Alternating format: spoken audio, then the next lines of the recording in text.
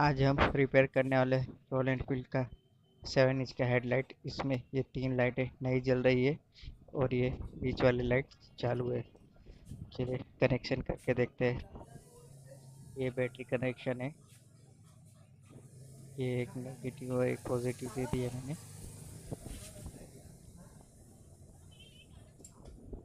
देखिए, ये एक लाइट जल रही है। जो बीच वाली और बाकी की तीन लाइटें नहीं जल रही है। ये देखिए कनेक्शन देने के बाद भी ये लाइट में कोई पावर नहीं आ रहा है।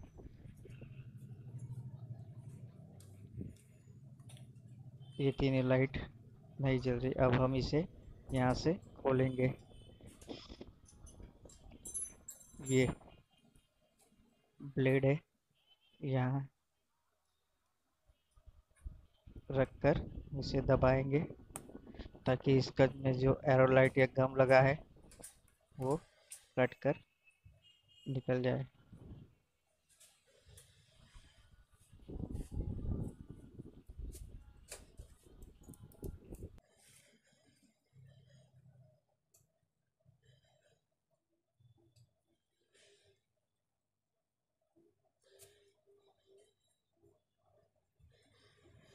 इसे काटते समय थोड़ा संभाल कर काटिएगा, नहीं तो ये आपके हाथ में भी ब्लेड लग सकता है।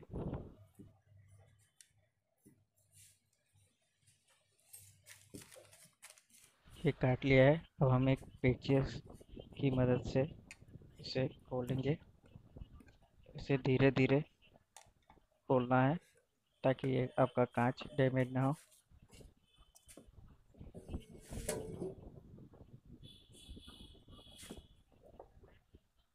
ये कांच रिमूव कर लिया है। अब हम इस रिंग को निकालेंगे ये साइड पे एक गैप होता है, उसे दबाकर दोनों साइड से निकाल लेंगे। अब ये रिंग को साइड पे कर देंगे। ये रिंग को साइड पे रख दिया है।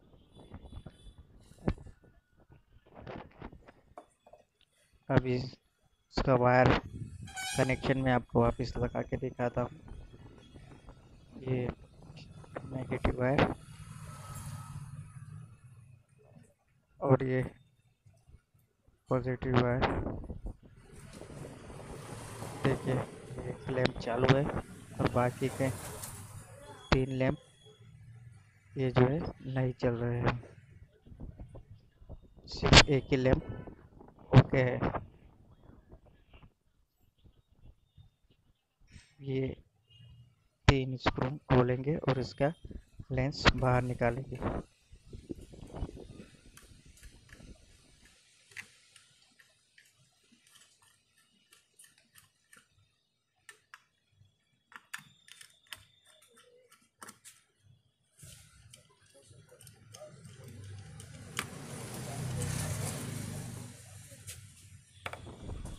अब स्क्रू हमने खोल लिए अब हम इसका लेंस उठाएँगे। ये लेंस को अभी निकाल कर साइड में रख लिया है। अब मैं आपको वायर कनेक्शन मार के फिर से दिखाता हूँ। देखिए, ये एक एलईडी चल रहा है और बाकी के तीन नहीं जल रही है। ठीक है कोई नहीं जल रही है सिर्फ़ एक ही जल रही है, तीन नहीं जल रही है।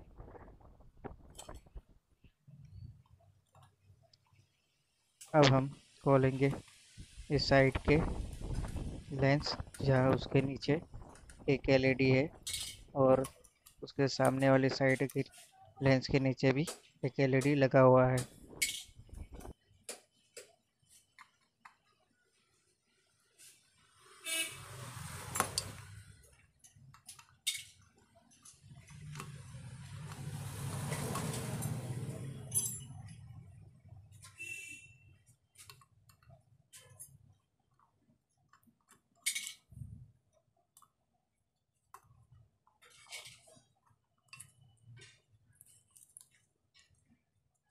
अब मैं आपको एलईडी दिखाता हूँ। ये एक, दो, तीन और चार टोटल एलईडी है इसके अंदर। अब इसका कनेक्शन मार के एक बार फिर से आपको दिखा देता हूँ।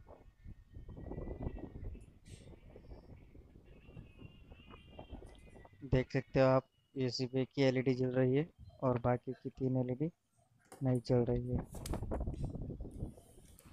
अब हम एक मल्टीमीटर लेंगे।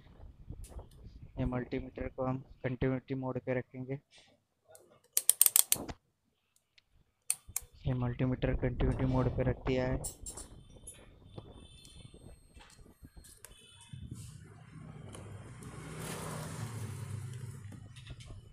अब हम इसके पावर सप्लाई के वायर चेक करेंगे कि इसमें कोई वायर ख़राब तो नहीं है।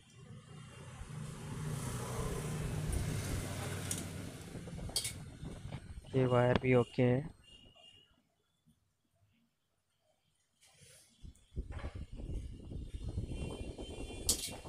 ये भी ओके है। इसके तीनों वायर ओके है। इसके पावर सप्लाई प्रॉपर अंदर तक जा रहा है।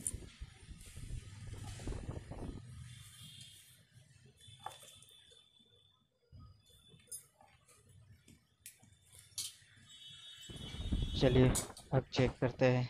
ये चार एलईडी पहले ये एलईडी चेक करेंगे कि कोई एलईडी शॉर्ट तो नहीं है या तो उड़ा हुआ तो नहीं है। चेक कर लेते हैं।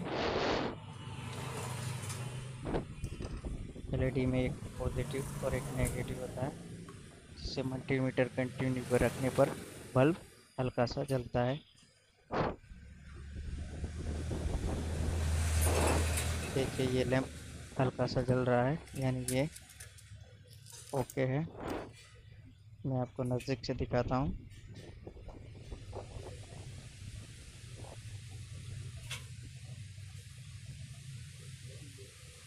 ये देखिए, ये चल रहा है, यानी ये ओके है। अब ये वाला चेक करते हैं।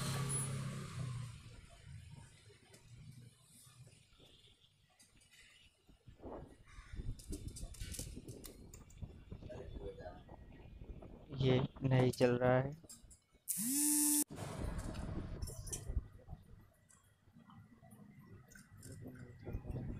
तो पॉइंट आते हैं वहाँ टच करके देखते हैं कि चल रहा है कि नहीं चल रहा है। देखो, ये चल रहा है।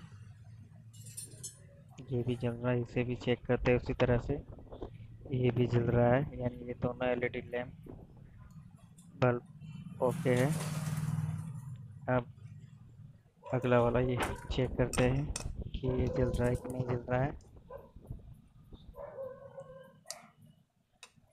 इसका पॉजिटिव नेगेटिव अलग है। तो हम वायर को चेंज करके देखते हैं कि जल रहा है कि नहीं जल रहा है।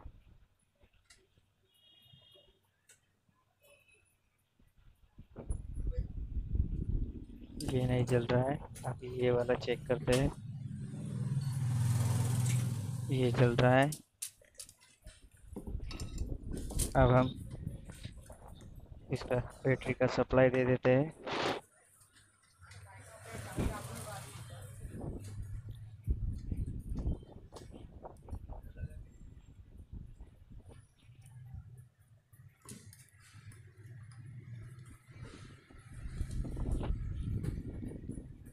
अब चेक करते हैं। यहाँ ये बीच वाले कनेक्शन में। तीन लैंप जो है वो जलने चाहिए। बट नहीं जल रहे अब मल्टीमीटर को हम 12 वोल्ट पे सेट करेंगे। और अब हम चेक करते हैं कि इसका पावर सप्लाई कहाँ तक सर्किट में आ रहा है।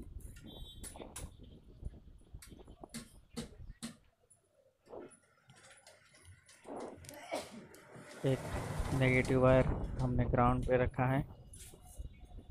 आप देख सकते हो।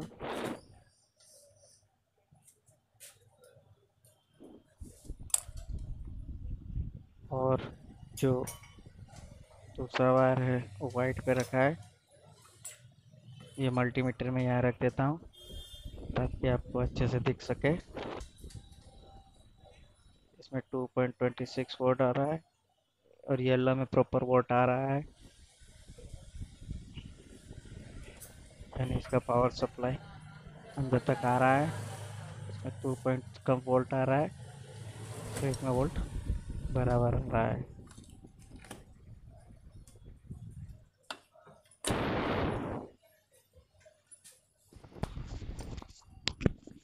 अब हम चेक करते हैं कि वहाँ से एलईडी का वोल्ट यहाँ तक आ रहा है कि नहीं आ रहा है ये एलईडी तक? तो यहाँ से यहाँ तक ये वोल्ट, ये एलईडी तक आ रहा है और उससे आगे पास नहीं हो रहा है। इसका मतलब कि ये वाला एलईडी बल्ब, ये जो है, ये ख़राब है। अब हम इसे वायर की मदद से शॉर्ट करके देखते हैं कि सारे लैंप जल रहे हैं कि नहीं जल रहे हैं।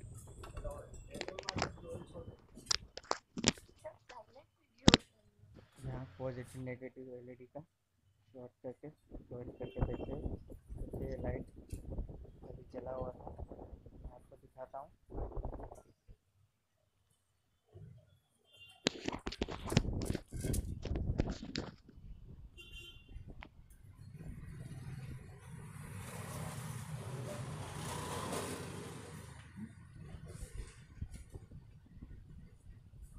देख सकते हो आप, ये दोनों बल्ब ऑन हो चुके हैं।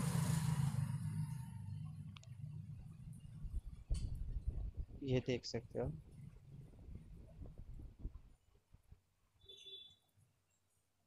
अब हम ये एलईडी को, ये एलईडी नहीं चल रहा है, उसे निकाल बाहर करेंगे।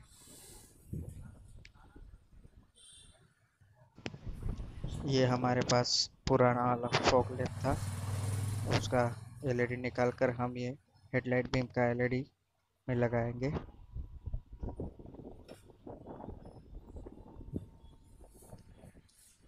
चलिए, अब हम इस हेडलाइट बीम की सर्किट को बाहर निकाल लेते हैं। उसके नीचे कूलिंग पेस्ट मारा होता है तो ये हल्का सा चिपक गया है। हम इसे बाहर निकालेंगे।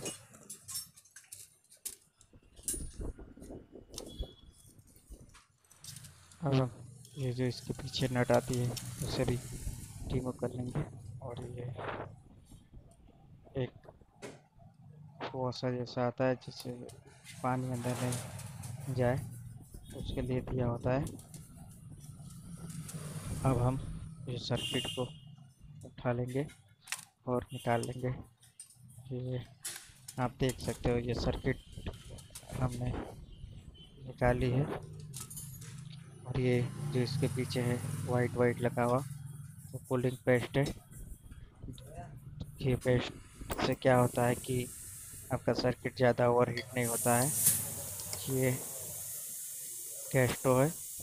इसकी मदद से मैं इसका एलईडी निकालूँगा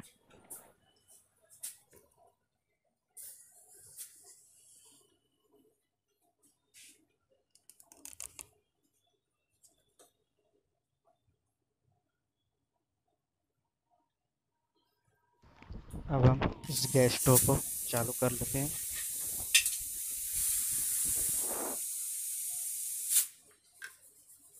और ये जो हमारे पास प्रॉब्लम पुराना था, उसका एलईडी है। इस सर से गैस स्टोव से इस सर्किट के बैक साइड के पार्ट को हीट करेंगे। और याद रखिए कि गैस का फ्लेम ज़्यादा ओवर नहीं होना चाहिए। हल्का रखिए और नॉर्मल हीट होने के बाद ये एलईडी को हल्का सा पुश करके निकाल दीजिए। देखिए इस तरह से जैसे मैंने निकाला हुआ है, इस तरह से आप एलईडी लैम्प बाहर निकाल सकते हैं। अब हम निकालेंगे हेडलाइट की सर्किट में जो एलईडी लगा है, उसे। ये को। इसे थोड़ा सा हीट कर लेते हैं। इसे भी बैक साइड से हीट करेंगे। दो सेकंड तक। इसे देखते हैं। निकलता है कि नहीं निकलता है। ये निकल चुका है। ये देखिए, ये एलईडी निकल गया है। सर्किट के पास अब ये जो एलईडी है, जो प्रॉब्लम में से हमने निकाला है, ये देख सकते हैं आप। इसकी एक साइड पे तीन डॉट्स होते हैं, वो माइंड साइड का पार्ट रहेगा। सर्किट में भी माइनस प्लस दिया होता है। तो आप वहाँ भी लगा सकते हो। अब हमने ये सोल्डर आयन गरम कर लिया है। अब हम इस सर्किट के पीछे का पार्ट हीट करेंगे, जहाँ हमें एलईडी लगाना है।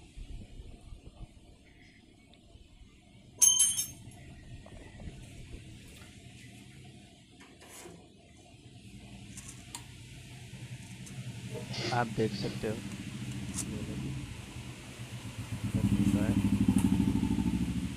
यहाँ पर प्रॉपर अब हम इसे चेक करेंगे।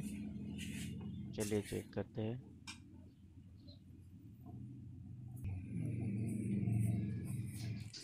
अब हम इसमें बैटरी सप्लाई देते हैं।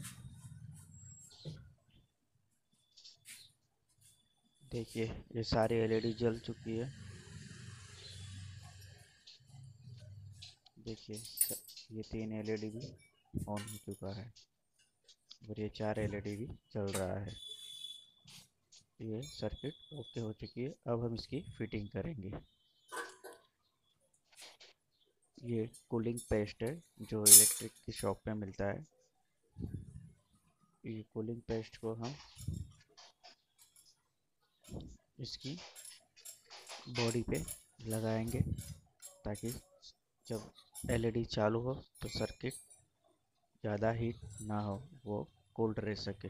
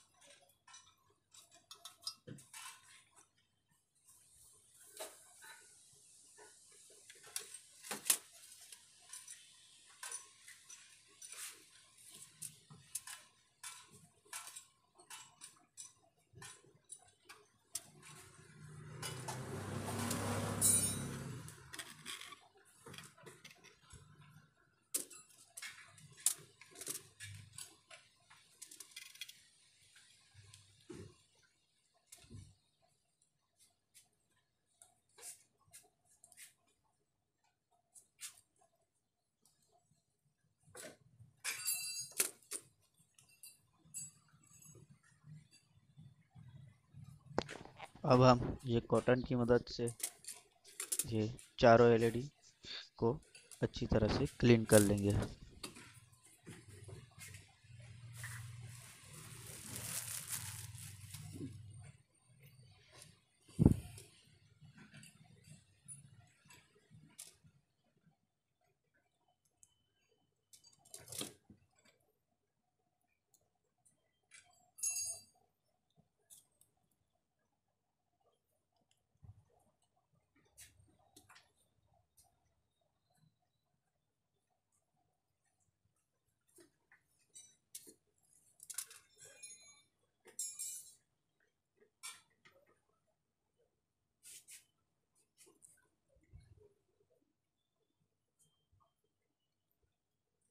ये जो साइड के एलईडी का लेंस है उसे भी कॉटन की मदद से अच्छी तरह से क्लीन कर लेंगे।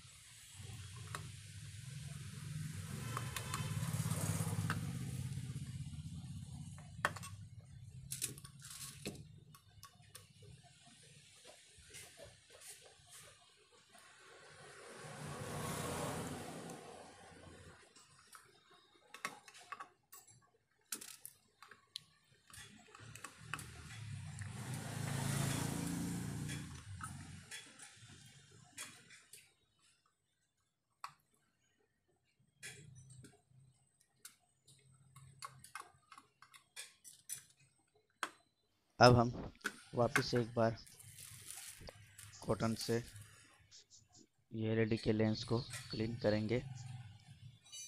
ये जितना क्लीन रहेगा, उतना इसका ब्राइट अच्छा रहता है। तो इसे हम साइड के दोनों लेंस को अच्छी तरह क्लीन कर लेंगे और फिर बीच के जो प्रोजेक्टर लेंस है, उसे भी अच्छी तरह से क्लीन कर लेंगे।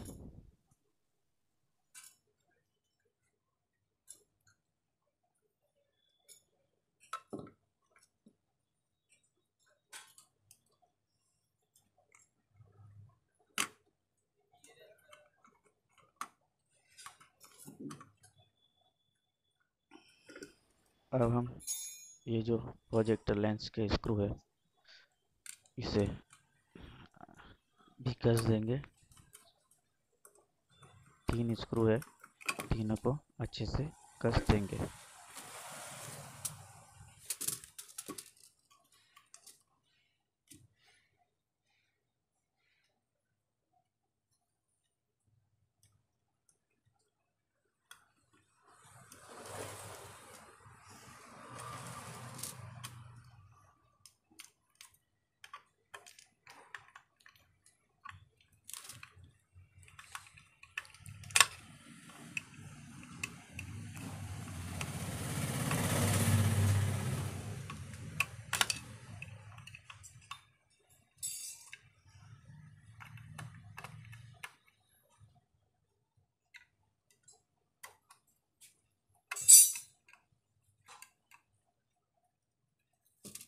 एक बार फिर से लेंस को कॉटन की मदद से क्लीन कर लेते हैं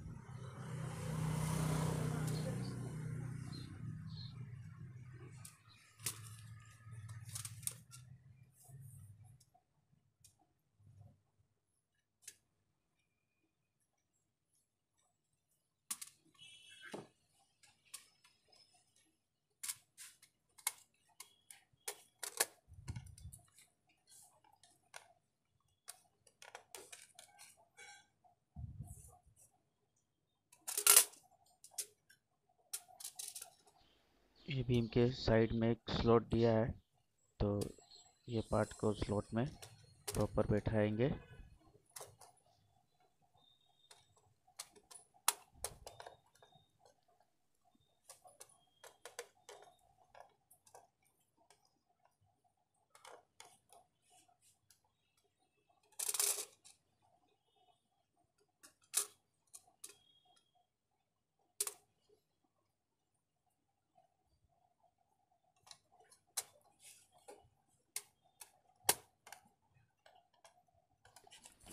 अब फाइनली एक बार कॉटन की मदद से लेंस और ये बॉडी क्लीन कर लेते हैं थोड़ी सी और ये उसका जो ग्लास है, उसे भी अंदर से कॉटन से क्लीन करेंगे।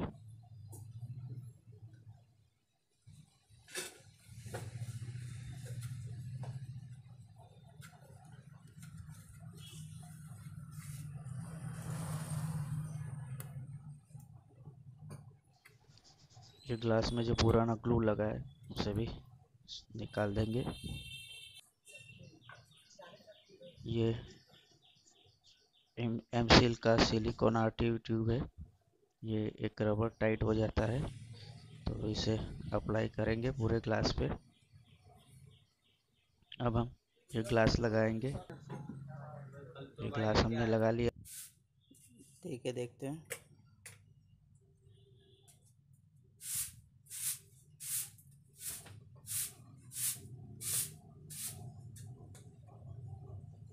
ये देखिए, ये हेडलाइट चालू हो चुकी है।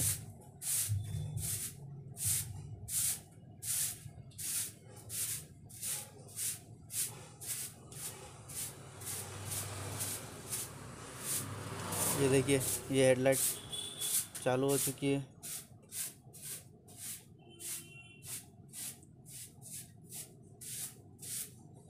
ये full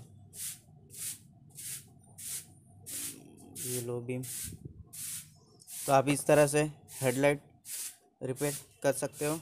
Thank you for watching my channel bullet modification by mister Shailesh thank you so much